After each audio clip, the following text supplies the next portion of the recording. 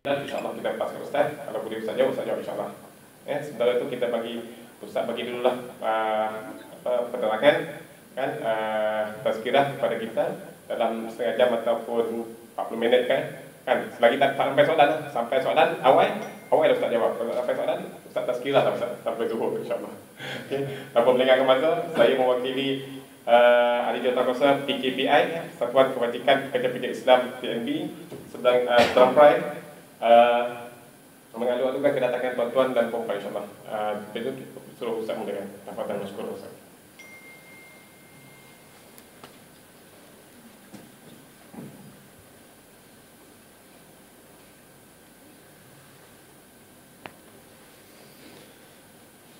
Bismillahirrahmanirrahim. Assalamualaikum warahmatullahi wabarakatuh.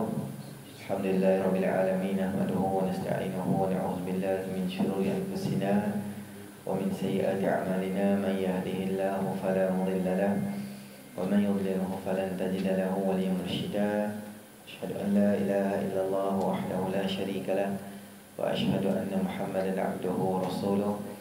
اللهم صل وسلم على سيدنا وحبيبنا وشفيعنا وذخرنا ومولانا محمد وعلى آله وصحبه ومن تبعهم بإحسان إلى يوم الدين. أما بعد Terima kasih kepada kursi majlis Tuan muslimin muslimat yang dirahmati oleh Allah Subhanahu Wa Taala. Pertamanya kita panjatkan kesyukuran kita kepada Allah Subhanahu Wa Taala kerana dengan limpah rahmatnya Allah Subhanahu Wa Taala beri kita sama-sama peluang untuk uh, masih panjangkan usia berada di dalam bulan Ramadan lah. Dan ramai di kalangan kita yang Allah Ta'ala ambil dalam bulan Ramadan Ada yang sebelum bulan Ramadan Tiga kisah lah kita dengar. Baru ni di Fahim pun Ada pakcik tu meninggal Tengah semayang terawih Dalam masjid hari Khamis malam Jumaat. Saya pun tak tahu apa kebaikan yang dia buat tu. Sehingga Allah pilih dia kematian yang sangat dicemburui Dalam mati. Kalau dia kata mati tengah semayang pun hebat lah Kalau dia kita kata dia mati tengah Duduk dalam masjid tak semayang Duduk saja pun hebat lah. Tapi dia join dua tu Mati dalam keadaan yang kita kata hebat macam tu Tengah semayang lah. Tak cukup dengan tu Dalam bulan Ramadan lah. Tak cukup lagi dengan tu Kami malam Jumaat. Yang dia pada viral di pakcik di Pakistan tu tak tahu sejauh mana kebenarannya tengah baca Quran dalam Masjidil Haram hari Jumaat bulan Ramadan.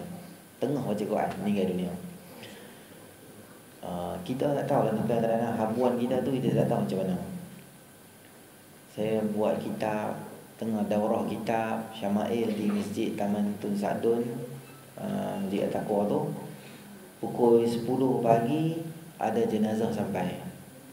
Jenazah sampai Lepas tu pengurusi mai bagi tahu kita ustaz Kita pause ustaz kita punya kuliah Sebab ada jenazah. Okey kami pun berhenti Semayang jenazah semua selesai habis Hantar jenazah tu pergi lah Saya duduk fikir ada hati Biasanya tuan-tuan Hari Ahad mana ada orang kat masjid Tak ada orang Adik-adik dia ada lah Tapi nak kata habuan dia tu punya bagus tu Hari dia meninggal itu tepat dengan hari ada kuliah pengajian. Jadi orang yang tolong semayang kat dia tu, orang yang mengaji semua tolong semayang kat dia. Dia ada tiga benda husnul khatimah. Kalau kita pergi ziarah orang meninggal dunia, ada tiga benda kalau kita tengok dekat dia, kita tahu tu kematian yang baik. Yang pertama kalau kita pergi tengok dia tu, dahi dia berpeluh-peluh. Dahi dia berpeluh-peluh. Walaupun musim sejuk Walaupun duduk di bilik aircon Tapi dia dia belum Yang nombor tu Ayat mata dia akan mengalir Ayat mata kita memang mengalir dah Sedih tengok dia Dia tu Ninggal lah. Tapi kita tengok macam ada yang mata Duk keluar Ada belen apa ke Ada yang banyak Ada yang sikit tu. Dan yang ketiga Orang main semain jenazah tu ramai. Ramai orang main semain jenazah kat dia. Macam arwah baru ni uh, Adli ke apa nama dia tu kan. Uh, Baru ya jadi budak-budak mulia. Budak muda dia ikut kuliah jalan sini jalan sana Ustaz Azhar Idrus main dia antara kru yang buat kerja tolong sini tolong sana Baru nikah bulan 2 baru ni meninggal Accident Tapi masa kita pergi tengok jenazah dia, kita tengok berpeluh-peluh dari dia. Allah Akbar. Kita tak tahu kita punya last macam mana. Ada orang yang duduk di sini Allah pilih dia meninggal di Mekah. Tengah buat umrah meninggal. Meninggal di Mekah ni orang yang main buat umrah ni kita tahu lah. Ulama-ulama dunia berlambak-lambak main umrah. Kena masa dia meninggal tu kita tak tahu Syekh Azhar ke ulama dunia Pakistan hafal hadis 100 ribu lah. Kepala ke Mudir dia Uben ke Hak Tok Guru mana ke mengajar mana-mana ke apa ke hebat Duduk belakang dia Tok Guru tu angkat tangan tolong amin saja. Hak kita pun Allah Akbar. Tak tahu Allah ampun dosa kita tahu mana Lepas tu kita doa pada Allah Supaya kita dapat husnul khatimah Kematian yang baik. Kematian yang baik ni kita tak boleh paksa Allah. Wahai Allah aku nak mati masa sujud. Tak boleh Satu ulama di Mesir nama dia Syekh Mahmud Kishk. Ceramah lantang dalam YouTube ada lah ceramah-ceramah dia tapi tak pasti ada muka dah dia meninggal lama lah. Oh, ceramah dia sangat lantang seronok memang hebat hujah dia mantap.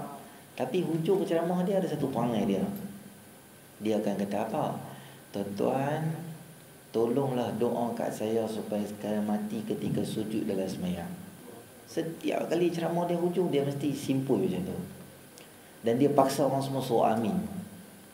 Talibul ilmi orang yang belajar ilmu agama ni orang yang duduk bersama dengan malaikat Allah Subhanahu Wa Taala kabulkan setiap majlis. Doa tu tak tahu lah siapa main dengar ceramah dia. Depa amin amin dia dia, dia doa dia amin. Dalam banyak-banyak doa tu dia diselit doa supaya dia mati ketika sujud.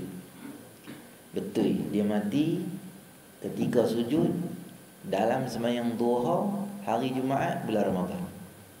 Tengah sujud ha, Pak Long tadi semayang terawih malam tu. Ini ketika semayang duha. Allah Akbar.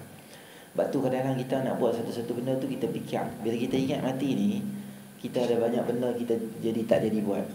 Sebab kita ada ingat mati ni lah. Orang tanya saya, boleh pergi panggung wayang Ustaz? Kan? Gambar bagus-bagus yang main lah ni, bulan raya, raya nak main lah ni, sampelnya gambar. Kami nak pergi boleh tak Ustaz? Saya macam ni lah. Kok-kok lah. Kok-kok lah. Telah mati. Contoh lah kan. Taklah doa. Contohnya Kalau hang padam dalam tu. Contoh lah kan. Orang tanya Eh hantar tadi Panggung yang kita orang mati? Siapa dia? Itulah Duk pergi masjid Sebang Jaya Selalu tu. Apa dia? Alah duk ikut ustaz-ustaz semua Satu duduk depan kali tu. Dia tu Ingat kan Dia dah panggung yang Sampai situ je. Orang takkan tanya dia tengok gambar apa? Orang tak tanya Walaupun kita tengok gambar kartun ni Ada tak orang meninggal dalam panggoyang Kita nak kata Ya Allah seronoknya. Kalau boleh aku memang impi-impi Nak mati panggoyang Tak ada Jarang orang kata gitu Mati di masjid kita seronok Terbayang Oh panggoyang ha? ha? Okey. Situ je lah. Kita jauh di sudut hati Harap-harap aku tak macam tu. Ha. Jadi selalu kita fikir Tambah kita berada dalam kita kata hujung Ramadan ya. Ha, hari ni hari ke 29 esok hari ke 32 hari dia ada balance Kita punya mood saya habaq totally duk main raya lah. Ramadan kita tak layan tu ya. Totally kalau otak kita fikir raya. Cuti awal ada semua ni cuti sana. Nak pergi raya. Tak apa lah, tak salah. Cuma kadang-kadang perangai kita bila kita buat satu-satu benda tu menunjukkan kata kita ni bahawa ujung-ujung ni kita tak apa minat sangat dengan Ramadan dah. Kalau boleh kita nak kata ni Ramadan, ni kau buang, aku tak boleh hang, aku tak boleh ingat lah, aku kena joget lagu raya lah. Kita habang situ lah. Saya bagi contoh, macam ada datuk mana kalau contoh lah, main rumah kita, esko, kerajaan negeri ke apa ke dia main rumah. Dia ada di situ kita hidayah kat dia. Lepas tu kita tanya dia, Datuk, ni ayat ni nak tambah lagi tak? Kalau tak mau saya nak ambil dah gelas ni. Kita habak tu dia. Lepas tu kita habak anak kita, hampa tolong tengok saya pintu belakang semua kunci tak lagi, kunci ambil jangan lupa nah. Lepas tu nak lah, ni apa, swiss-swiss apa semua ni tutup-tutup semua habis, ambil tudung semua tunggu di kereta tak abah main. Ah, dia buat tutup lampu, tinggal lampu kat dia saja, tinggal kipas pun bagi slow, tinggal satu. Dia tak habak suruh belah, tapi kalau hang tak belah kot memang bingung ha? Kan? Menunjukkan kata apa? Datuk tu kata, tak apalah kalau hang nak keluar aku balik dulu lah. Dia kata situ. Dia pun balik. Sebab apa? Sebab kita tunjuk kata kita tak apa suka. Ramadan duk ada sehari dua hari Kalau kita pada 10 hari tak akhir ni Macam tu lah watak kita ni Mana-mana masjid pun jadi kurang orang Tapi jarang kita tengok bazar Ramadan kurang orang Bazar Ramadan tiap-tiap hari ada orang Walaupun kita pergi pukul 7.20 10 minit kita nak buka puasa Ramai lagi orang. Parking motor pun tak ada. Kata kereta tak apalah Motor pun tak ada parking. Sebab apa? Sebab kita ni duk nampak macam makanan lah kita punya puasa ke situ situ. Banyak benda kekurangan kita. Jadi sehari dua ada ada ni beberapa benda yang boleh kita highlight untuk kita buat supaya kita kita nak kata tu Qadar habis dah pun tak berani nak kata. Nak kata ada lagi pun kita berani kata sebab ada satu lagi malam yang Nabi sallallahu alaihi wasallam janji pada kita untuk malam ni adalah malam yang ke-29 tarawih kita yang last lah kalau tak raya Sabtu Jumaat kalau raya Sabtu insya-Allah kita ada satu lagi malam untuk tarawih. Cuma kita ada malam ni adalah malam, malam paling emas sekali sebab dia masuk dalam kategori hari-hari ganjil dalam bulan malam-malam Ramadan. Jadi beberapa benda yang boleh kita buat pada malam ni lah sahabat. Yang pertama sekali waktu untuk kita ni dapat al-qadar ni adalah bila? Daripada sampai subuh lah. Dia punya limit dia tu valid dia Lailatul Qadar tu sampai subuh. Sebab Allah sebut salamun hiya hatta matla'il fajr. Salam sejahtera atas malam tu sampai cerah. Sampai cerah. Jadi mulanya bila? Mula maghrib tu. Azan maghrib Allahu akbar Allahu akbar. Maka lampu hijau untuk bermulanya waktu malam. Sebab tu tuan-tuan Kita nak niat puasa Kita bukan mesti niat pagi esok Atau pukul 12 Atau pukul 11 Masa kita makan buka puasa tu Kita boleh niat dah. Allahumma laka sumna Bika amanna Wa ala rizqika aftarna Birahmatika ya arhamar rahimin Zahaba dhama'u Wa tala'atil aruku Wa sahabatal ajru insyaAllah tu doa. Kita makan sambil makan kurma, kita boleh baca nawaitu sauma ghadin an adai fardhi syahr ramadan hadis sanadillah ta'ala sebab dah masuk dah waktu malam boleh kita niat dah. Jadi, apa sahaja benda yang kita buat daripada maghrib sampai ke pagi esoknya ni di mana? Pagi esoknya subuh tu, kesemua tu dalam kategori kalau betul kita buat masuk dalam malam Lailatul Qadar, maka Allah akan bagi kita pahala bukan 83 tahun 4 bulan. Siapa yang kata 83 tahun 4 bulan salah. Kita tak boleh cakap macam tu. Dah tu ustaz Allah kata Lailatul Qadri khairum min alfi syahr, seribu bulan. Memang seribu bulan. Tapi Allah kata lebih baik daripada uh, seribu bulan. Maksud dia bukan 83 tahun. Dia boleh jadi 84, 85, 87, 90, 120, 430, 720. Dia boleh naik banyak mana pun nombor. Kita tak tahu.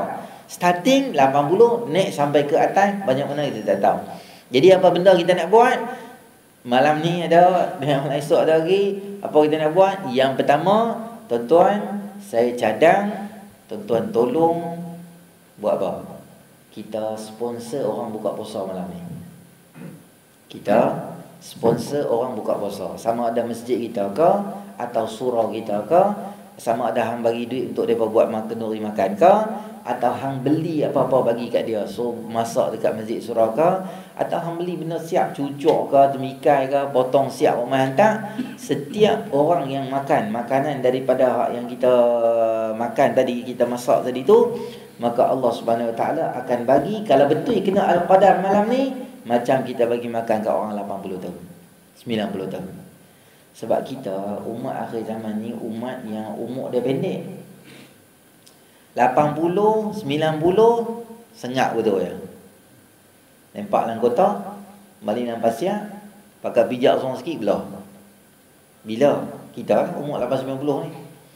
Umat dulu umur dia panjang Ah, ada satu makcik tu duduk di tangga menangis makcik sebab apa makcik menangis ni anak saya muda-muda mati dah umur apa baru 342 342 tu muda ah. Akhir balik 612 tahun. Kita 124 kali masuk Cosmo dah. Ha, tiga kali masuk berita harian. Mastika dengan abang tiap bulan. Muka last sekali tu masuk dia. Apa rahsia pak cik umur panjang? Oh, saya makan petai sekali dengan akak-akak saya makan. Umur jadi panjang. Umur kita pendek. Umur 65, 63, 60 lah. Tapi yang peliknya kita ni satu lagi masalah, akil balik umur 15. Dah lah balik umur 15. Lepas tu 57 tahun baru main masjid. Selama tu enjoy bawa aci ronda sini, ronda sana. Disco duk main tunjuk langit gitu ya, duk menari kan. Ya, ya, ya duk menari gitu. 57 taubat kawan meninggal depan mata kena lenggek dengan lori balak. Taubat pakai main semayang. 3 tahun semayang, 57, 60 tahun padam. Agak-agak boleh masuk syurga 3 tahun. Nampak gaya lah. Sebab 3 tahun tu pun semayang merepek. Zohor 3 setengah. Asyak 6.45. Maghrib 8 setengah. Semayang guni nak masuk syurga. Allahu Akbar. Mereka tak ada harapan lah. Jadi, kita ni kita kata fast track untuk dapat syurga Allah Ta'ala ni ibadah pada malam-malam yang tak akhir. Malam ni lah. Kalau betul kita buat baik maka Allah akan bagi kita pahala yang berlambak-lambak. Macam duk bagi makan kat 8 orang selama 80-90 tahun. Kalau betul lah kena Al-Qadar tu. Yang pertama. Yang kedua malam ni jangan tinggal sembahyang maghrib berjemaah. Malam ni jangan tinggal maghrib jemaah. Maghrib dapat pahala berjemaah 27. 27 kali dengan Ramadan sama kali dengan 70 macam 70 kali sembilan fardu. 70 tu pula kali dengan Ramadan pula 89 89 tahun yang ibadah memang berlambak-lambak. Sebab tu kadang-kadang ramai orang lepas puasa tak sembahyang dah. Tak tak sembahyang dah. Eh pahala aku banyak lah dia dah. Tu pun Allah hutang kat aku tak bayar lagi. dia kira pahala dia banyak. Jadi maghrib jangan tinggal sembahyang berjemaah. Yang ketiga jangan lupa sembahyang sunat ba'diyah maghrib. Malam ni lah ni. Malam-malam keramat lah kita kata. Esok malam kalau kata daripada tengok anak bulan beritahu maghrib esok sembahyang sunat tak sama dengan maghrib malam ni sembahyang sunat. Sembahyang sunat jadi fardu. Okey, tak cukup di situ. Habis sembahyang isyak berjemaah jangan tinggal. Sebab isyak berjemaah Sabit daripada hadis Imam Muslim Imam Muslim menyebut Man syahidal isya' fi jama'atin Faka'annama sallam nisful layli.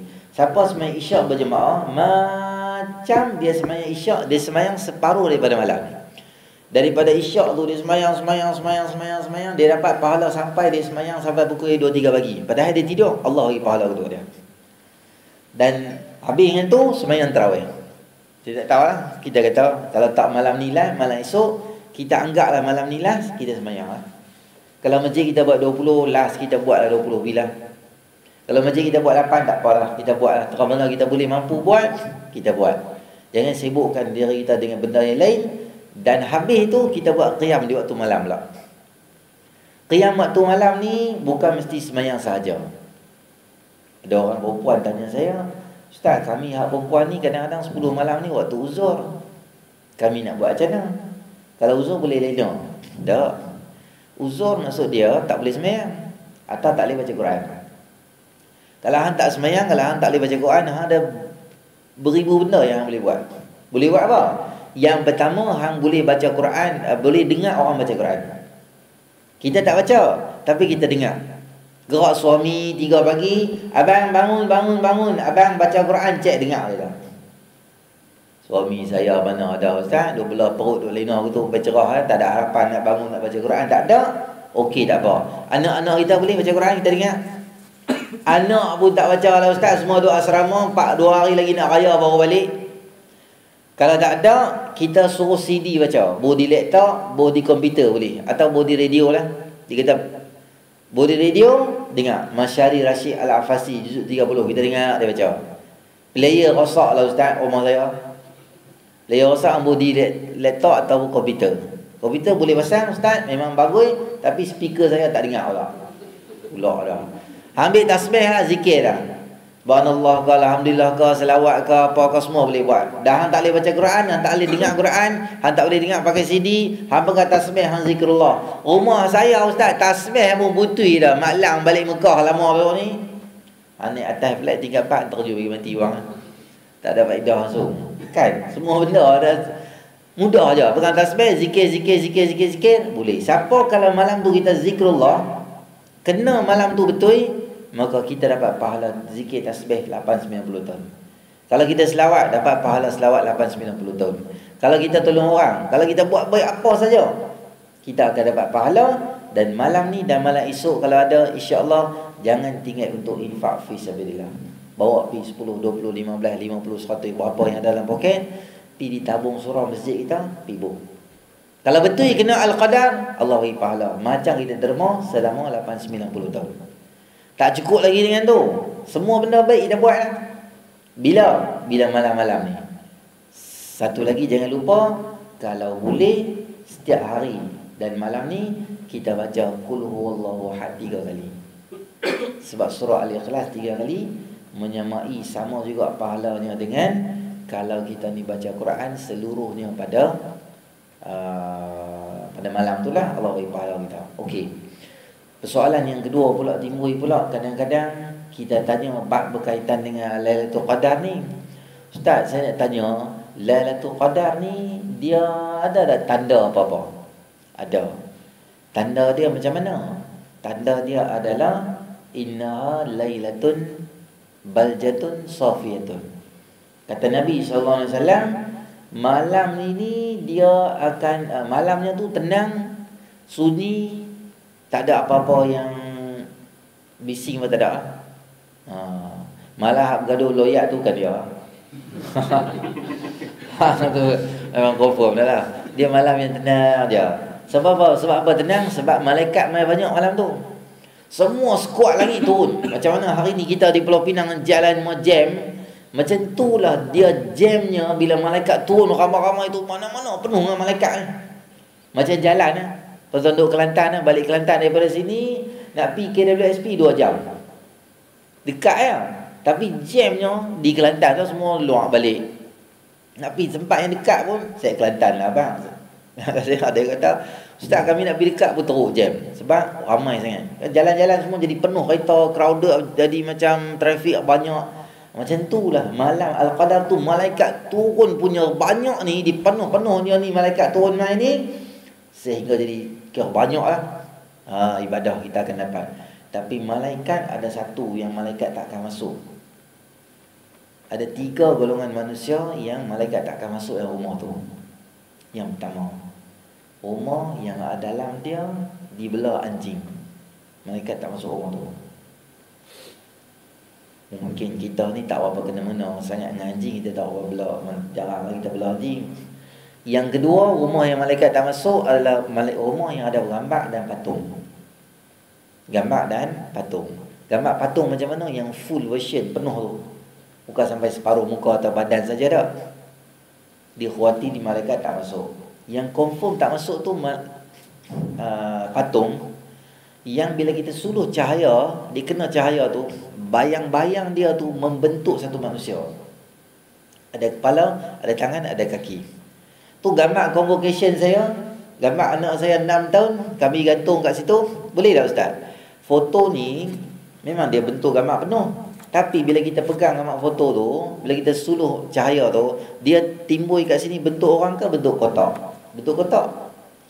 Maka ulama bagi tahu al-khuruj min al-khilafi mustahabun. Kita keluar daripada perselisihan ulama ni kita jangan duduk di di lokasi tu. Maksud dia hang nak buat gambar patung yang ada bayang penuh ke, bayang macam foto ke, sebaiknya gambar tu jangan buat. Ambil semua gambar tu buat dalam album. Hana boh gamak boleh. Boh empat kul. Ayatul kursi yang boh macam ni. Jadi bila-bila kawan-kawan kita main kan uh, tu, jadi kawan-kawan kita tengok ayatul kursi dia boleh sambil-sambil duduk atas kursi baca ayatul kursi. Kalau hang boh gambar merepek tu kan, gambar tak tutup aurat semua dia jadi merepek bagi dosa kat orang pula. Boh gambar elok-elok gitu. Uh, kecuali benda main, budak-budak main. Patung-patung kan, budak-budak anak-anak kita main-main-main, lepas tu kita bolang kotak, terajang masuk bawah katil, esok bawa keluar balik. Yang tu tak apa. Yang tak boleh ni kita letak. Dia tak mau ada unsur pemujaan. Letak bagi satu benda hormat Letak di tempat tinggi. Yang Tak mau macam tu. Kalau hang main budak-budak Kepak sini Kepak sana Kepala terkeluar semua Bolam tu. Itu tak apa Tak ada masalah. Boleh. Dan yang ketiga Golongan manusia yang tak akan dimasuk Oleh malaikat malam tu adalah Qati'ur rahim Orang yang putus silaturahim. Orang yang putus silaturahim Malaikat tak akan masuk rumah dia. Siapa-siapa yang dia tak cakap dengan kakak dia Tak cakap dengan abang dia Tak cakap dengan adik-beradik dia uh, Saya mohon tuan-tuan Hari ni lepas pada ceramah Telefon hubung silaturahim balik sekali lagi.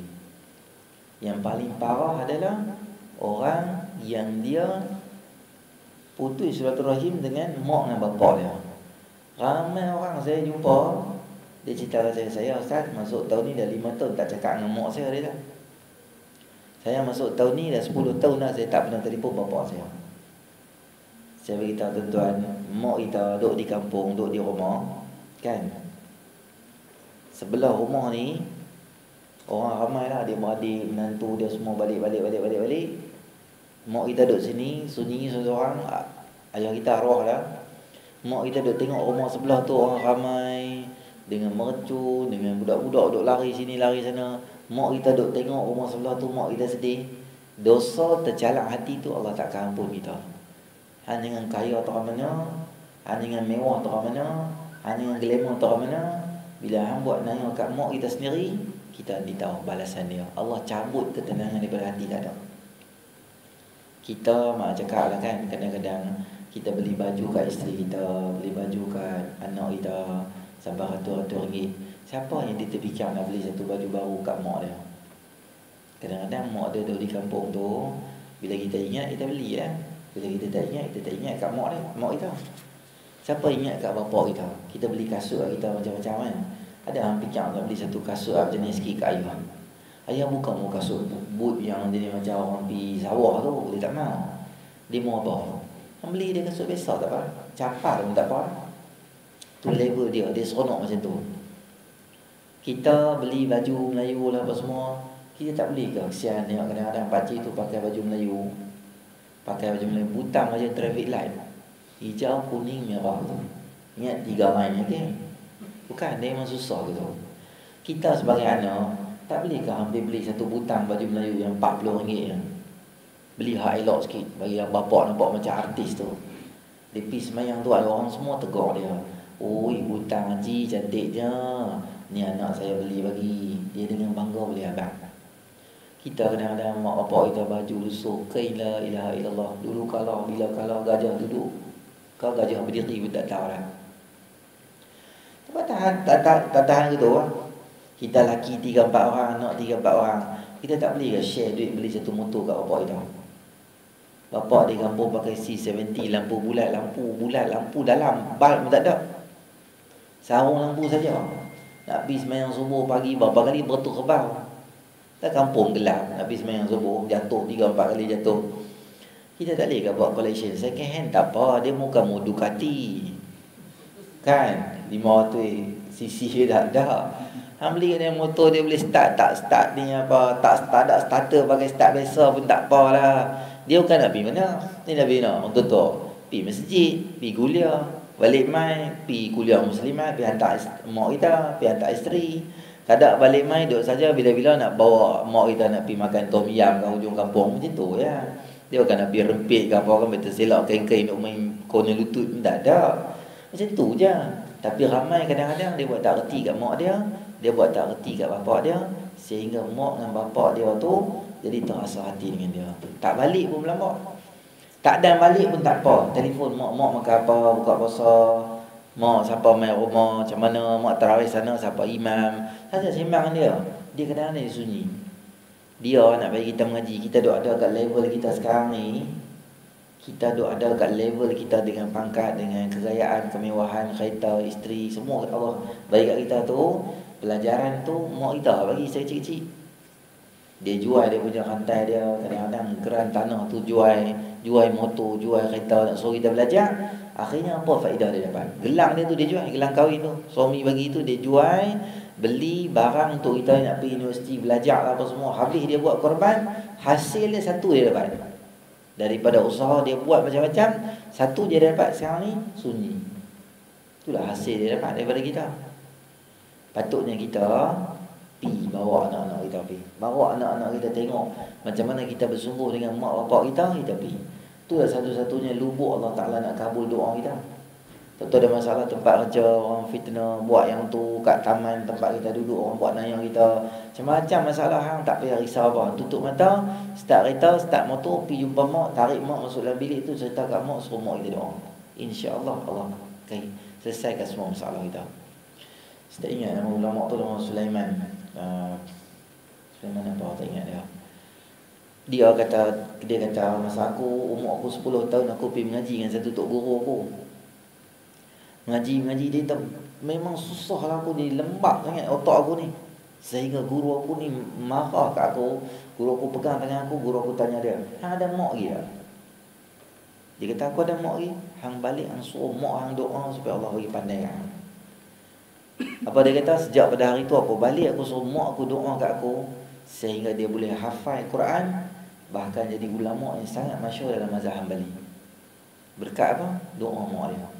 Tentu ada masalah apa? Dari segi rumah kita, isteri kita buah tak mau dengar cakap melawan kita duk cakap macam-macam lebih kurang buat yang tu buat yang ni pi doa ke Allah suruh mak kita doa bukan suruh mak kita jadi mak mentua garang pukul bini kita dah suruh dia doa kita dapat suami yang tak apa-apa yang garang yang merepek yang tak pernah ambil tahu pasal keluarga kerja pi balik mai tak apa dan merepek anak demam pun kita kena bawa kita ambil cuti tanya anak demam dia tak pernah ambil cuti apa jadi serabut dengan kepala otak dengan lelaki hak merepek gini ni jumpa mak, jumpa ayah, suruh mak dan ayah kita tolong doa kita. Kita ada anak jenis tak mau semayang. Kita ada anak jenis buah tak, tak tahu apa. Jadi merepek, darjah empat curi duit orang, darjah lima curi besker, darjah enam ni apa, geng pecah rumah, geng samun, geng macam-macam lah. Suruh mak kita doa, Allah Ta'ala akan mudah kita. Itu nama raya. Ni kadang-kadang pergi ziarah mak raya ni, lima anak, lima-lima ada whatsapp. Mak dua seorang-seorang. Anak aku syok, anak aku mai ziarah aku. Mai ziarah aku ke tak tahu lah, tapi duduk main handset. Raya ni saya cadang tuan apa tahu? Tutup wifi kat rumah. Tutup wifi. Siapa-siapa main dia tak ada dah password wifi. Kungfu pandai tu di perut dia. Terajang tu itu ya. Hanya dengan sebut pasal wifi kat rumah aku. Handset semua bau bakul semua lempak lah tu. Hampa main makan. Baik hampa makan handset. Cicah dengan sos Nanti aku goreng Set apa aku buat kat aku Aku set gitu La ilaha illallah Mai ziarah Hilang silaturahimnya benda semua Duk main set. Anak kecil-kecil Duk main gadget gitu lah Samsung lah main Tak salah lah. Tapi sampai 24 jam tu Di pasar raya Mak dia duk jalan Bawa dia Dia tak tengok jalan tu. Dia sambil jalan tu Dia pegang tangan Mak dia tu Duk jalan tepi mak dia Dia duk main Tu budaya jadi macam merepek sangat dah. Dia dah masa kita beritahu, masa ni hang boleh main, masa ni tak boleh. Masa berjalan tak boleh, masa pergi rumah orang tak boleh. Masa orang main rumah tak boleh buat macam tu. Hang kena beritahu, ni adik-beradik hang, ni Pak Lang. Ni Mak Lang, ni Tok Su, ni siapa, ni siapa, ni siapa. Kena perkenal adik-beradik kita. Kat anak kita, anak kita dia tak mau main. Kalau kenuri-kenuri kena, dia tak mau main. Sebab dia nak duduk rumah main game, nak, dia tak mau malai kawan orang. Dia tak kenal siapa adik-beradik Tu antara sebab yang jadi punca hilang silaturahim di kalangan masyarakat kita sebab tu. Sebab tu kadang-kadang kita Islam sama Islam bertuh bau pun aku syarang, aku syarang, aku syarang, aku, aku nak ribut muka hang ya. Akhlak mau jadi hilang. Padahal kita bertuh tu mungkin dua pupu kita. Dia tak tahu bila kita tahu masa dia kahwin esok kita lalu lah hang aku belasah itu. Hang dia adik aku kan. Jadi saya aku belasah kalau aku tahu aku belasah kuat lagi. Kan? hilang silaturahim semua jadi hilang sebab apa? Sebab handset kita Sebab kita bukan Sebab handset. Sebab kita tak pandai urus kita punya Gadget kita tu kita tak pandai. Dengan anak-anak kita pun kita mau Pi mana-mana rumah orang Simpan semua dalam poket. Nak balik dalam kereta Kamu nak main Okey tak ada masalah. Sampai rumah kita Ada siapa-siapa main Adik-beradik main Panggil keluar main. Dan kita kena habak dia. Siapa kita boleh salam Siapa tak boleh salam. Tu benda masa raya tu dengan semua orang suruh salam, salam, salam, salam, salam gitu Sampai tak tahu ha-, halal haram yang mana boleh, yang mana tak boleh Jadi tak boleh cakap gitu semua jadi masalah. Sahabat tu tuan-tuan dengan alih lawan mudah je. Boleh dan tak boleh.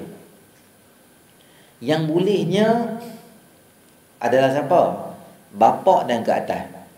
Bapak kita Tok kita Tok Wan Moyang Lagi Tahu atas pada moyang tak tahulah. Apa lantak lah ikut lah. Semua ke keturunan ke atas tu sama. Kita boleh salam dia tu mahram kita tak patah sebenarnya. Yang nombor dua ke bawah turun. Anak kita. Cucu kita. Cicit. Betul? Piat. Cute, cute tak cute buruk. Apa semua. Sampai ke bawah. 800 keturunan pun darah daging kita tak apa. Tak ada masalah. Yang ketiga adalah siapa? Uh, adik-adik kita lah. Sama ada kakak kita atau abang kita atau semua kita boleh salam tak ada masalah. Yang seterusnya anak menakan kita. Anak menakan daripada kakak saudara perempuan lah, anak menakan lah. Anak menakan abang ke, anak menakan kakak ke, anak menakan adik ke, janji dia adik kepada anak kepada adik kandung kita boleh tak ada salah salam. Yang seterusnya yang boleh ni yang selalu orang confuse ni adalah apa? Pakcik kita Pakcik tu macam mana? Adik kandung bapa kita. Sama ada adik kandung lelaki Atau adik kandung perempuan. Boleh, tak ada masalah. Tak ada masalah tu apa? Kalau kita lelaki Bapa kita Bapa kita lelaki lah Bapa perempuan macam lah Kita lelaki Bapa lelaki Dia ada adik perempuan. Adik perempuan betul dia lah. Adik tu nama dia makcik kita. Makcik tu kita boleh pergi salam dengan dia. Sebab apa? Sebab dia anak adik bapa kita, sedarah dengan bapa kita, sedarah sedaging dengan bapa kita, boleh tak ada masalah. Sama juga kita perempuan, kita ada mak, mak kita ada adik lelaki seorang. Tu nama dia adalah pakcik kita. Pakcik tu kita boleh salam. Pakcik yang tak boleh ni macam mana? Orang panggil mak saudara sabit. Sabit tu macam mana? Ni bapa kita. Kita lelaki. Bapa kita ada adik lelaki. Nama dia Pak Cik lah. Pak Cik ni dia menikah satu perempuan yang daripada luar. Dia masuk dalam family kita. Nama dia Mak Cik. Nama Mak Cik juga. Tapi Mak Cik ni tak boleh salam. Ha, sebab dia orang luar yang top up masuk dalam family kita. Kita tak boleh salam dia. Anak menak anak menakan isteri tak boleh. Isteri kita, dia ada anak menakan. Anak menakan tu boleh lah dengan isteri kita, dia boleh lah salam. Sebab dia maram. Dengan kita dia tak boleh. Sebab apa? Sebab kita bukan kena undang dia. Dia, dia adik dia semua belah situ. Yang tu tak boleh. Makcik isteri kita. Tak boleh ke? Isteri kita, dia ada makcik. Mereka ada orang atau pakcik boleh lah. Kita tak boleh pergi merentas zaman dan masa tak boleh buat begitu. Mak mentua, pak mentua boleh. Mak mentua, pak mentua kita, dia akan jadi mak mentua dan pak mentua sampai kiamat. Mak mentua kita, dia mak mentua kita sampai kiamat. Once dia jadi mak mentua dia tak tak akan gugur dah dia punya title dia tu. Daripada jadi daripada jadi mak mentua. Jadi walaupun isteri kita meninggal dah. Walaupun kita cerai isteri kita, talak tiga. Isteri kita pi kahwin pula dengan orang lain, ada anak dua orang hidup family bahagia dah. Kita jalan di pasar malam jumpa bekas pak mentua. Dia tak ada dalam dunia ni istilah bekas ibu mertua tak ada. Kita jumpa ni mak mentua kita. Dulu kita cerai lah dengan isteri dia tu. Anak dia tu ada masalah Jodoh tak panjang semua. Bincang pergi bincang main Katanya kena cerai Cerai lah. Eh, Kita jumpa di bazar Ramadan. Kita boleh salam cium tangan dia. Lepas salam kita boleh jadi imam Semayang maghrib Semayang, eh, semayang kita tak batal Sebab apa? Sebab dia mok kita sampai kiamat. Sama pak mentua kita. Pak mentua kita Bila kita dah cerai Sama ada cerai biasa Atau cerai ribut di muka Cerai terajang Cerai siku Smackdown Tak tahulah buat apa dia tapi dia tak isteri dia. Tapi kita jumpa dia, kita boleh salam dia. Tak salah kita beli kain pelikat balik kat dia satu. Kan? Ramai orang dah cerai dengan isteri dia. Mak bapak dia tu, pak mentua, mak mentua dia, dia buat tak erti gitu. Ya, gitu. Ambil je tu kain pelikat tu. Cap mangga. Cap pelam. Kau dah pandai hal lah. Biar dia dia tu. Nah, tak apalah, ya simpan lah. Walaupun tak ada jodoh dengan anak. Tapi bukan jodoh dengan hang. tak ada jodoh dengan anak. Tapi hubungan silaturahim ada. Ada orang dia cerai isteri dia, sekali cerai dengan anak dia, sekali cerai dengan mak mentua dia, sekali cerai semua. Ini nama dia bengong. Han tak boleh cerai anak Han. Han cerai isteri boleh mana dia cerai anak? Dia cerai sekali dengan anak-anak dia tak buat tak reti gitu je, dia pergi duduk di Johor, duduk di Pulau Pinang. Cerai dengan isteri dia, tiap-tiap bulan nafkah tak bagi, mahkamah masalah. Mahkamah tak mahkamah tu nombor dua. Hang tanggungjawab tu anak hang, hang mesti bagi dia. Sebulan 200, 300, 400 ikut kemampuan sekolah dia apa semua hang buat, kena bayar kat dia. Kalau hang tak bayar kat dia, hang berhutang dengan dia. Sampai dia besar. Sebulan 300. 10 bulan 3000. 30 bulan dia tinek, dia tinek, dia tinek, dia tinek tu sampai dia umur dia 20 tahun hang hutang kat dia. Hang kena mai jumpa dia balik minta maaf kat dia. Wahai anakku, ayah ni silap, minta maaf lah. Selama ni ayah jadi lalai dan lara. Ayah hutang kat hang. Semua lebih kurang 112 ribu. Boleh dah halai hutang aku. Anak dia kata, Apalah bapak ni kita ni dia beradik walaupun lah bapak tinggal kami sekian lama kami tak ada takkan terasa hati apa-apa tak apalah 112 ribu tu kena bayar juga jangan buat begitu wajib bayar juga 112 ribu tak ada hangkir hutang mati sebagai orang yang berhutang. Esok jawab di akhirat. Saya dah cerai dah dengan anak saya dengan isteri saya semua dah dengan isteri saya. Sekarang saya duduk di Johor. Saya jadi mutawif umrah. Bawa orang pergi haji saya kerja dengan tabung haji. Anak dia 20 binang Dia tak ambil tahu pada Hang balik nama Haji Setan. Semua. Masa orang melontar jamrah kan Mau lempak dia dalam tu Pakat lempak batu kat dia pula Kenapa hang balik batu kat aku. Sebab hang tu lah syaitan rajin. Sebab apa? Aku syaitan lah.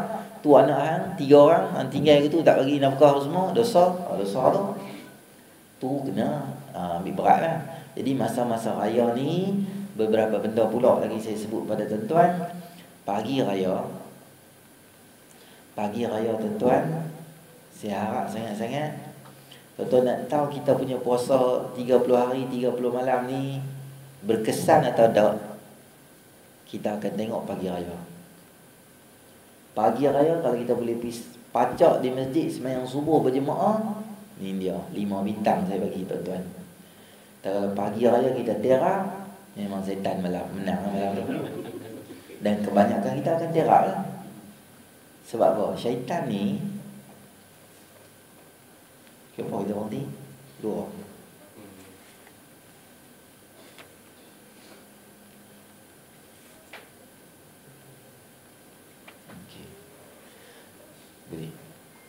Syaitan ni dia macam anjing kena ikat kat tepi jalan lah. Bila kita lalu tepi dia, dia kungkang, kungkang, kungkang, digarang, digarang. Tapi dia nak gigit kita tak boleh. Sebab tengkok dia terikat. Banyak kali dia try tak lepas. Tapi kalau kita lepaskan dia punya tali tu, dia geram kat kita, dua hari duduk menyalak tak dapat. Bila terlepas tali tu satu hari dia tengok kita jadi apa? Dia lompat atas kepala kita terkam silap pun melekat dengan anjing-anjing PKPJ. Sebab apa? Sebab dia geram sangat kita. Syaitan 30 hari dah kena ikan. Tuan-tuan main tazkirah semua tuan-tuan ingat dia tak geram. Dia geram. Dia duduk di situ dia tak boleh buat apa. Oh muka jadi ser betul nak jalan tu garu tak gatal untuk garu kepala aku geram dia kata. Tuan-tuan sembahyang tarawih dia hangat. Tuan-tuan tasbih zikrullah macam-macam lah buat baik ni dia jadi panas duk menyalak situ tapi tak boleh buat apa. Bila dia akan keluar sambil duk pegang ni apa-apa betul tengkok mu tu bila? Malam raya. Ha dia betul tengkok tu. Lah lapar banyak hari dah duk buat macam tumbuk-tumbuk tangan gitu. Dia keluar mai ya. Malam raya isyak dah berlambak-lambak tak sembahyang. Sebab apa dia beradik main ramai pasang tirai yang tu yang di gelap bi gelap mai dua setengah semai isyak. Kalau sembahyang. Depa kata apa arah kami mai jauh-jauh pada Johor mai sembahyang isyak pula di kado ya. Kado-kado tu dengan kita-kita li bungkui sampai subuh tak sembahyang isyak. Bila bangun tujuh setengah pagi tu kita kadang-kadang tuan-tuan eh, sebagai mak mentua, pak mentua, adik-beradik semua main ramai, mak mentua, menantu apa semua main ramai-ramai ramai semua ni tidur lah. Pakai toto lah, bentang lah, ambil tilam lah, mana ikut dan ke tu dia tidur. Ni anak kadang-kadang tidur di lengan mak gitu ya. Jadi orang oh, ramai biasa lah. Kali sekala kan. Ramai gitu. Kita pukul 5.45 kita bangun nak semayang subuh. Kita pun buka lampu, ambil kunci semua, pergi semayang kat masjid. Ramai lah adik-beradik tidur. Langkah, langkah, langkah, langkah, langkah, pergi semayang. Lepas habis semua tu Kita pun balik rumah Kita pergi takbir kat masjid Semayang subuh Susun sejadah semua Kita balik mai 7.15 Kita buka lampu Alangkah Sedihnya hati kita Sekok adik-adik kita tak bangun semayang subuh Keturunan zuriat kita Seorang tak bangun semayang subuh Kemalang bukan main duk gelap Tentulah kita rasa sedih yang teramat amat sedih sekali Sebab subuh tak bangun tapi bila dia terjaga bila kita gerak dia, dia akan tanya, "Eh, kira apa dah? Kan mandi ayam baju kan? Nak pergi sembahyang raya." Dia punya fokus sembahyang raya. Padahal sembahyang subuh tu yang lebih lebih utama. Yang ni benda-benda yang kita kata 30 hari hang pergi kursus, hari pertama hang masuk kerja hang tak main lah. Macam mana kita rasa? Kita hantar staff kita pergi kursus 30 hari integriti lah dalam pekerjaan lah apa semua. Hari pertama dia tidur di pejabat dia meleleh elok. Kita hantar email Zoom syarat semua sampai dah dia duduk nganga tu. Dia duduk buat apa ke apa ke dia duduk main gitu. Subway, surf. Dia duduk main dalam handset dia tu. Kita kata ada 30 hari puan tak pergi khusus pergi Pulau Pangkok, Langkawi semua berhabis duit pejabat semua lah tak jadi bagus ke? Jadi kita jadi apa? Alat staff macam ni, staff ni alat. Kalau ada orang nak buang kita cari dia dulu. 30 hari Allah Taala bagi khusus kat kita. Hari pertama khusus tu kita tidur. Tak main sembahyang subuh. Yang tu stiker besar pun di kepala kita, memang kita fail eh. Ha, jadi tahun ni tuan-tuan hati-hati. Tak ada sahur dah lima setengah bangun atau lima empat puluh pun tak apa lah. bangun ambil semayang semua selesai sempat jangan tinggal. Main tahajud tu semayang tu malam kan. Bos jadah Allah Akbar semayang dua rakaat. Assalamualaikum Assalamualaikum azan. Azan pergi masjid. Semayang qabliyah semayang sud semayang apa su, uh, fardu subuh takbir balik main tu amalan yang bagus pagi raya. Kita orang lelaki lah tak utamanya ambil berat. 30 hari Allah Ta'ala bagi dah kat kita jangan menangkan Jangan menangkan setan Walaupun dia boleh buat macam benda kita Dan yang kedua saya nak buat tuan-tuan Antara sunnah pagi raya ni adalah Sebelum kita pergi semayang Disunatkan kita ni makan sikit Jamah sedikit daripada makanan. Sebab apa? Sebab kita nak tunjuk pagi tu aku tak puasa. Selama ni Allah suruh puasa aku ikut. Hari ni Allah suruh jangan puasa. Okey aku ikut jangan puasa. Nak tunjuk kata aku tak puasa aku makan. Sikit je. ya. Yang bantai sampai tak habis semayang pula Lebih kurang lah makan-makan itu uh, Nabi SAW akan makan 3 biji 5 atau 7 biji kurma. Kalau tuan-tuan ada lagi kurma boleh makan lah. Kurma tak ada, ada rapat tinggal kotak ya Ustaz. Dengan kunyah kotak pula. Ambil lah karipak, karipak pula. Apa Ketupat ke apa-apa sikit makan-makan itu Syarat itu je minum air Balik semayang pula. Untuk raya korban sunat makan lepas semayang. Untuk raya ni sunat makan awal sikit lah dan seterusnya kalau boleh antara benda yang sunat kita pi dan balik semayang tu dalam uh, jalan yang lain. Jalan lain. Kalau kita pi ikut ni, balik mungkin kita ada jalan alternatif yang lain. Kalau boleh, kalau ada jalan lah. Saya ada flat ustaz, cari tak mana lift tang tu ya ada. Aku habaq dah sunat tak payah kalut lah. Tak payah panjat. Tak payah panjat je Spiderman kat luar. Betul dah. Ni awak panjat tak. Nabi suruh ikut jalan lain. Kalau ada ada lift rosak satu hang tak payahlah kalau dua lift ada, ambil ikut lift ni balik ikut berjalan ni. Supaya tujuan dia kita boleh jumpa ramai sikit orang.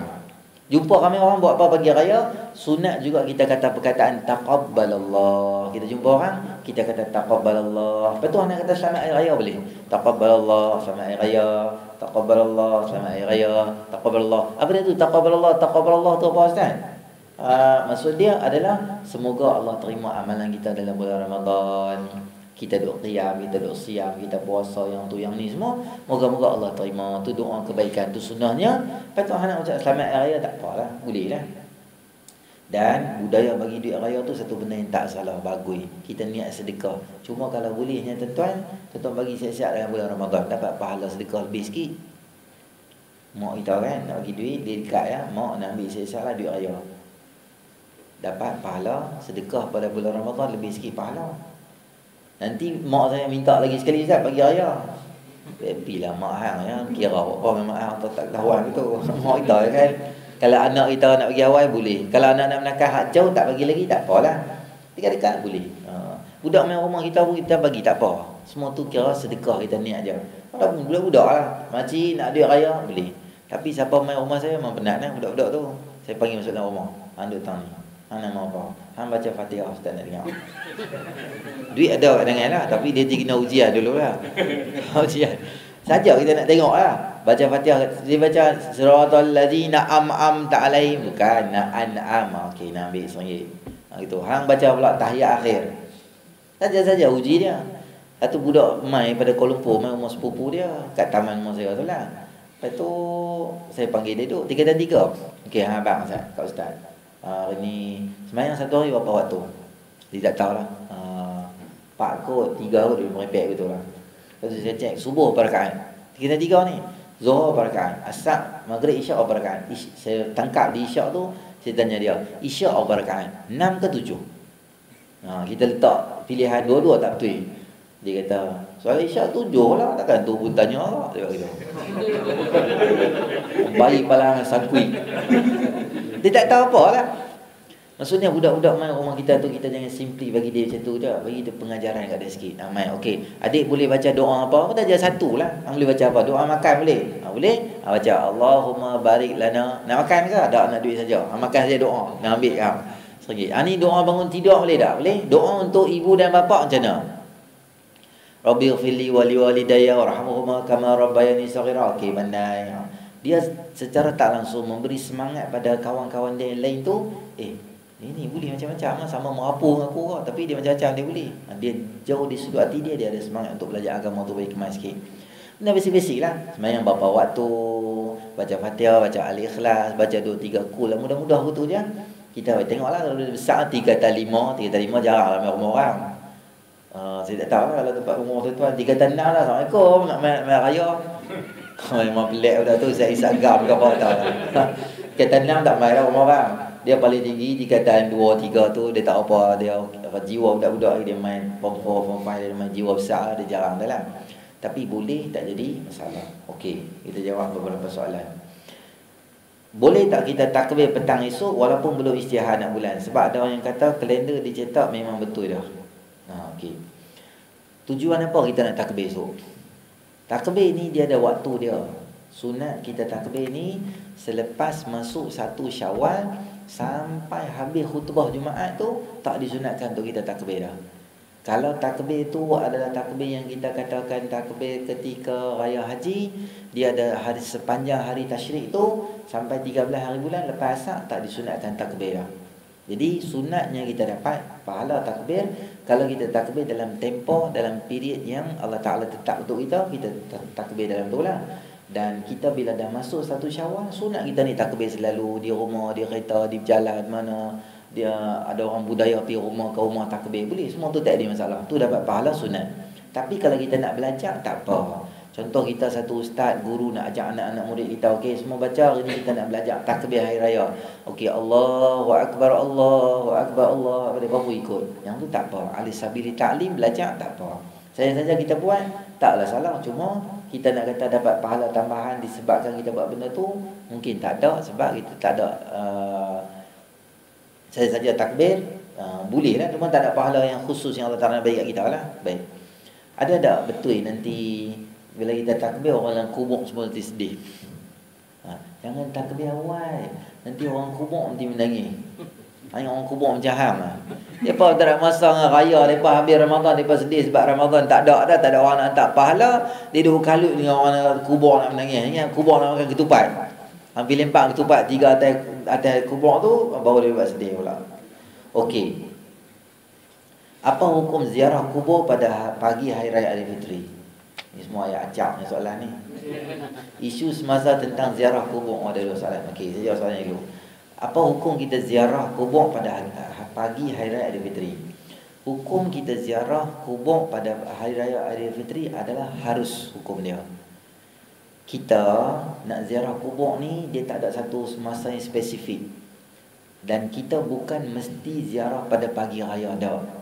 Kalau tuan-tuan yang duduk di sekitar kawasan sini tak balik kampung giliak atau suami isteri orang sini atau kita giliak raya tahun ni di Pulau Pinang, kita ada awal Mungkin hari ni atau esok sebelum raya tu Kita pergi ziarah siap-siap apa semua Lebih senang Sebab hari raya tu takut crowded. Kita tak mau orang fikir Satu benda yang wajib Mesti dibuat lepas daripada Semayang adalah ziarah kubur. Tak. Tak mesti ziarah kubur masa hari tu Ziarah kubur bila-bila pun boleh Ziarah kubur bila pun boleh Kalau kita tak pergi pagi raya Kita pergi lepas hari yang sama Lepas maghrib boleh ziarah. Sunnah Nabi, Nabi kadang-kadang duduk waktu malam dekat kubur tu. Nabi suka duduk dekat apa? Uh, dekat Baqi' tu, Nabi SAW suka duduk waktu malam. Boleh, dua pagi pergi kubur. Lepas kita nak cari nombor loteri lah pada ni malam-malam pula lagi. Boleh, tak ada masalah. Tapi raya tu, esok tu pun boleh.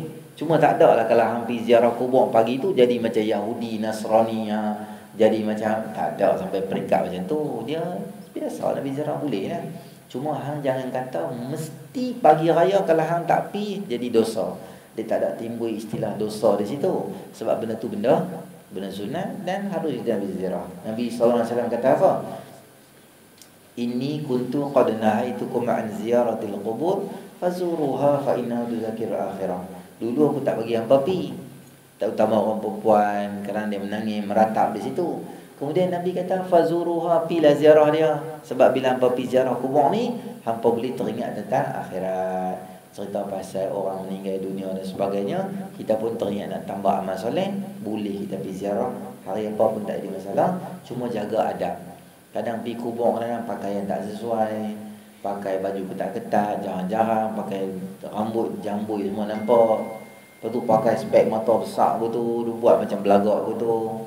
Tu bukan tujuan dia pergi kubur. Kita sedekahkan fatihah pada arwah ayah kita, mak kita. Moga-moga kebaikan yang kita buat, kita dapat pahala. Baik. Apa hukum orang yang tak membayar zakat fitrah? Zakat fitrah ni termasuk daripada rukun-rukun Islam yang lima. Jadi, pecahan daripada zakat tu lah, zakat fitrah. Zakat ni kita kena tengok sebab apa dia tak bayar. Sama ada dia tak bayar dengan sengaja atau tak mampu nak bayar, tu lain. Dia tak bayar atas terlupa atau nama lain. Tapi dia tak bayar atas nama dia mengingkari, boleh jadi masuk jadi kafir. Orang tanya dia, "Han tak bayar zakat?" Allah tahu ni aku tak bayar. Aku duk ingat dah nak pergi bayar pagi raya tu. Allah tak. Yang tu tak apa. Han tak bayar zakat. Ingat nak bayar. Tapi tak apa cukup lah. Saja dia buat main gitu. Dia boleh bayar tapi ha, itulah. Nantilah aku bayar tahun depan lah. Yang tu tak jadi kafir. Dia boleh jadi tak bayar ni dia boleh jadi kafir bila? Tak apa zakat penat apa aku cari dia bagi kat orang pula. Merepek ni semua ni. Ha, yang tu boleh jadi kafir. Macam han tak pergi Mekah tak apa. Han pergi Mekah lah. Dia tak ish. Nak pergi ke lah insya-Allah lah. Tunggu giliran nama tak naik di tabung haji. Ha, yang tu tak apa. Tapi kita tanya dia, han tak pergi Mekah. Dia pergi Mekah merepek berabi duit 10 ribu semua pakai baju nampak ketiak semua dah pergi pusing kotak hitam ada orang cakap tu tujuan han cakap tu nak menghina Islam jadi kafir han tak sembahyang tak itulah aku jadi malas macam mana tahu setan tak ada kepala aku kosong ni dia saja dia dia tahu benda tu betul tapi dia tu malas sebab dia malas. Tak apa. Bukan tak apa maksudnya jadi fasik atau dosa jugalah. Tapi tak sampai kafir Orang tak semayang Merepek tunjuk pungkok semua ke orang Lepas tu semayang. Buat apa? Aku malas aku tu. Dia duduk cakap lebih kurang tu Buat Islam tak boleh. Han tak mau semayang Bukan tak apa. Maksud dia tu lah tak Han jawab di akhirat. Tapi Han jangan hina Han tak mau puasa? Tak apa. Han jawab di akhirat. Tapi perbuatan dosa. Han jangan hina puasa Puasa buat apa? Makanan duk ada depan kita. Yang Han tak mau makan buat apa? Isteri hang halal hang nikah. Bayar mahal semua. 5 6 ribu 10 ribu bayar. Sebab apa kita tak boleh bersama dengan dia pula? Merepek hukum ni semua. Bagi menyusahkan orang? Allah Taala bagi zalim orang. Dia cakap cakap merepek tu dia cakap jaga tu? Yang tu boleh terkeluar dari Islam. Jadi kita nak tahu orang tak bayar ni sebab apa? Sebab tak bayar lupa atau tak bayar dia benda wajib lah kok mana pun mesti kena kena bayar. Dan yang ketiga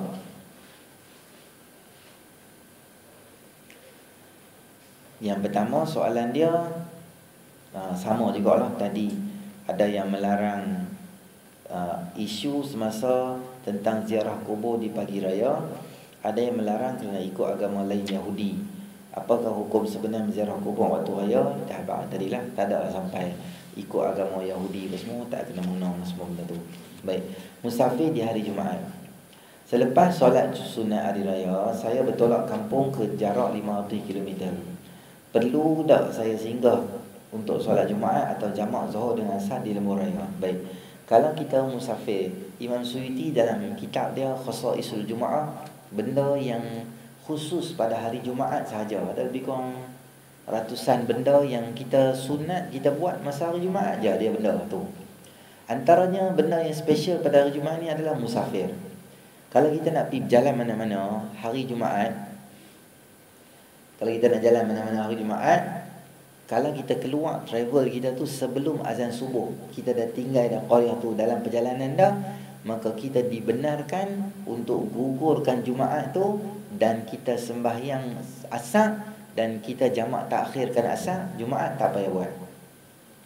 Dimaafkan syarak Sebab kita dalam perjalanan sebelum azan subuh kita dah keluar dah. Maksudnya kita tengah musafir Dan orang yang musafir Orang perempuan, orang sakit, orang yang tak balik lagi, empat golongan ni tak wajib sembahyang Jumaat. Jadi kalau hang bergerak daripada rumah kita selepas sembahyang subuh, maksudnya kita dalam kategori berada dalam hari Jumaat. Bila kita berada di dalam hari Jumaat, bila kita berjalan, mesti hang cari tempat berdiri untuk semayang Jumaat, hang berhenti hang semayang. Selepas semayang Jumaat, Assalamualaikum, Assalamualaikum, terus bangun, gabung dengan asak, jamaah takdim, boleh. Allahu Akbar, semayang asak dua rakaat. Sagi asak tak payah semayang dah. Kalau hang musafir awal, tak payah semayang zuhur, semayang asar saja sekali gabung dengan zuhur, tak payah semayang Jumaat. Dan kalau hang keluar awal, boleh tarik asar mai depan, semayang zuhur siap-siap, semayang Jumaat, lepas semayang Jumaat, semayang Jumaat, semayang asar, lepas semayang asar, shoot terus, sagi hujung isyak anak semayang pun boleh. Takhir pun tak ada masalah. Ni sebab dia dah lebih daripada 500 km, tak ada masalah. Okey. Itu sahaja yang boleh saya bahas.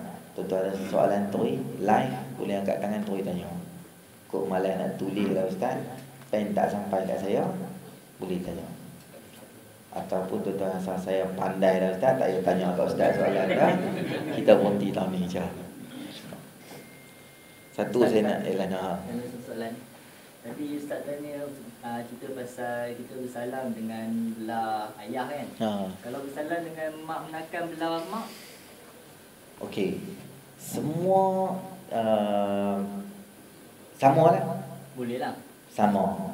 Maksudnya kalau mak menakan mak, bukan mak menakan mak, uh, mak kita adik adik adik beradik dia. Uh, boleh lah. Sedara. Maksudnya dia memang betul adik kandung mak kita. Sama ada mak atau bapa dia sama. Tapi mesti adik kandung dia lah. Bukan orang yang luar yang masuk dalam family tak boleh. Setakat dia nama adik mak kita atau dia nama adik uh, ayah kita boleh tak jadi tak ada masalah tapi masalahnya kadang-kadang situlah bila kita tak mau salam depa kata tulah pergi masjid semua sekarang ni tok mau salam dengan orang tua-tua semua tak mau salam dah kawan ada ni bukan tak mau salam dengan hang lah Islam tak bagilah pengaji sekarang ni buat habaq dia sampai bila kita nak jaga hati dia saya pun suar lah ustaz jaga hati dia kadang-kadang dia, dia tak faham kita kena habaq dia sampai bila nak nak apa nak jaga hati dia Ha, kita habak dia. Kita nak jaga hati syarak semua. Ha, tak boleh? Tak boleh. Tak apa. Kita bukan mesti salam kena buat tangan itu. Kan? Kalau hang laki dengan perempuan tak pegang tangan salam pun tak apa, minta maaf lah semua kesalahan ha. boleh tak apa. Nabi SAW kata kata Nabi SAW Ini la usafihul nisa. Aku tak pernah pegang tangan mana-mana orang perempuan. Ma masad Rasulullah SAW yadi mra'atin qattun. Kata Aisyah Nabi SAW tak pernah sekali pun pegang mana-mana tangan perempuan. Dan aku lah hadis awal tadi tak bersalaman tak bermusafahah dengan mana-mana orang orang perempuan. Jadi kita tak kena mana kita tak payah salam lah walaupun ada fatwa daripada Syekh Yusuf Al-Qaradawi untuk pemimpin-pemimpin dunia peringkat atasan. Kalau orang luar dah dah suar jadi ada keringanan dalam muasarah fatwa-fatwa terbaru peringkat dia peringkat menteri atau peringkat raja yang besar berhadapan G2G lah government to governmentnya program. Kalau dia suar tangan dulu kita bukan suruh kita suar dia suar dulu. Kita jadi macam dalam keadaan gelap kita salam dimaafkan tu perbahasan yang lebih lanjut berkaitan boleh atau tak boleh tu bincang oleh Syekh Yusuf Al-Qaradawi lah tapi peringkat kita di Malaysia dengan qadiah kita ni bersalaman di antara lelaki dengan perempuan ni satu benda yang kalau boleh kita dapat elak tu yang terbaik lah. Ha, walaupun dengan lapik kita cuba elakkan. Ha, kita abang lah dia elak dia. Yang anak pun kita abang lah. Ni boleh salam, ni tak boleh salam supaya anak kita ada info juga berkaitan tu. Baik. Kalau tak ada apa, kita di sini lah. Kita pun nampak macam mengantuk orang ni. Waktu perdana lena orang ni.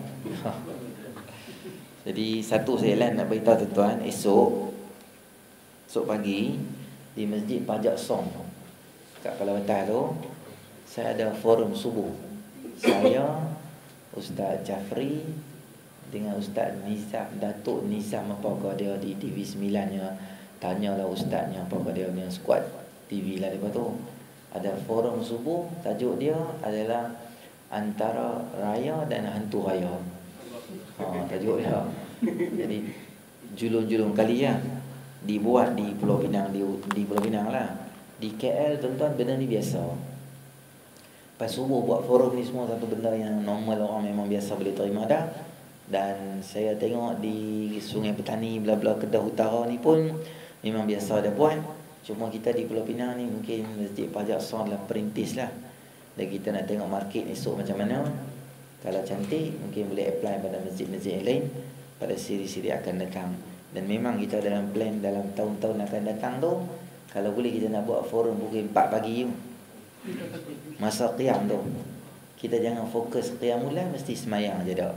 Sebarang majlis ilmu pengajian kita daurah kita apa kita boleh buat pak pagi buat daurah kita sama dapat pahala kalau kita qiyam mulai malam tu boleh boleh pahala yang berlambak-lambak di insyaallah sebut di sini dulu tak banyak-banyak kalau ada terkasak bahasa ke benda yang mengguris hati tuan-tuan yang baik pada Allah yang kurang sempurna tu atas kelemahan saya sendiri Assalamualaikum warahmatullahi wabarakatuh Alhamdulillah Bismillahirrahmanirrahim الحمد لله رب العالمين الصلاة والسلام على أشرف الأنبياء والمرسلين وصحبه أجمعين اللهم انفعنا بما علمتنا وعلمنا ما ينفعنا وزدنا علما.